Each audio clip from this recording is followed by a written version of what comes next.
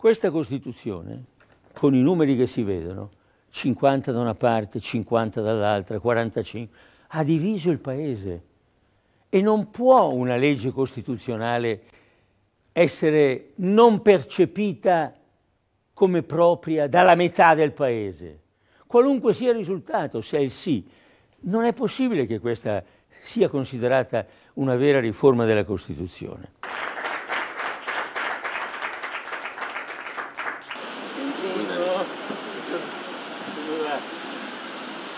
Bene, signor Presidente.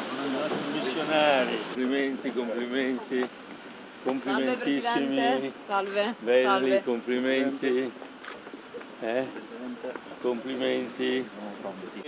Benissimo. Come va? il telegramma degli auguri. Come va?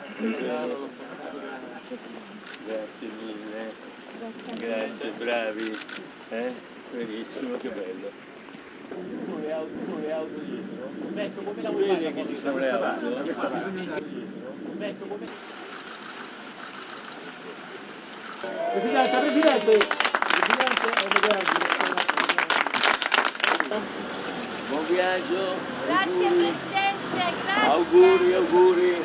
Buon Grazie. viaggio, andate piano! Vinceremo. Buon viaggio!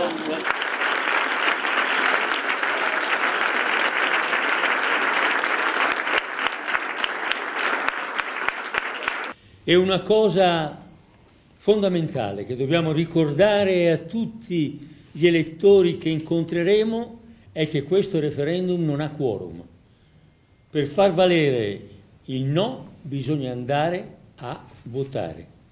Stare a casa significa favorire il sì, favorire una situazione di pericolo per la nostra democrazia, favorire la possibilità di una deriva autoritaria che potrebbe diventare una dittatura della sinistra, significa dare una legittimazione col voto a questo governo che una legittimazione non ha mai avuto, significa con il no poter mettersi a lavorare intorno a una Costituzione di cui il Paese ha assolutamente bisogno, che cominci col dimezzamento del numero dei parlamentari, con il mandare a casa i parlamentari che cambiano bandiera, con prevedere finalmente l'elezione diretta dal capo dello Stato da parte dei cittadini.